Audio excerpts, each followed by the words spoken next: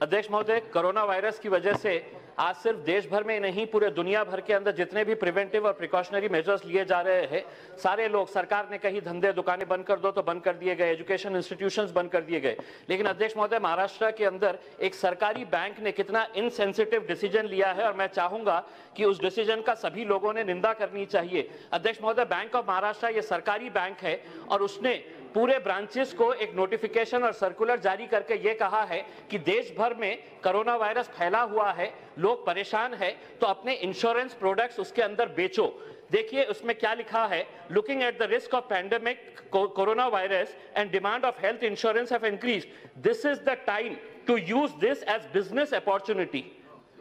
ये bank of Maharashtra sir, सरकारी bank है, जहाँ एक तरफ़ हम दूसरे लोगों को कह रहे हैं कि अपना कारोबार बंद करो, बल्कि यहाँ तक कहा है कि स्पेशल ड्राइव चलाओ इस पीरियड के अंदर कि कोरोना वायरस की वजह से जितने इंश्योरेंस प्रोडक्ट्स हम बेच सकते हैं, बेचो, और जो सबसे ज़्यादा बेचेगा, उसको तीन लाख रुपए का इनाम दिया जाएगा, और उस बैंक का ब्रांच का जो अप्रेजल रहेगा, वो इस बात के ऊपर निर्भर करेगा कि कितने इंश्योरेंस प्रोडक्ट्स बेचे गए हैं। तो अध्यक्ष महोदय, हम चाहेंगे कि इस तरह की बैंक जो लोगों को इस मौके के ऊपर अपना धंधा कारोबार बढ़ाने के लिए जो कर रहे हैं, उनके ऊपर कुछ ना कुछ कार्रवाई होनी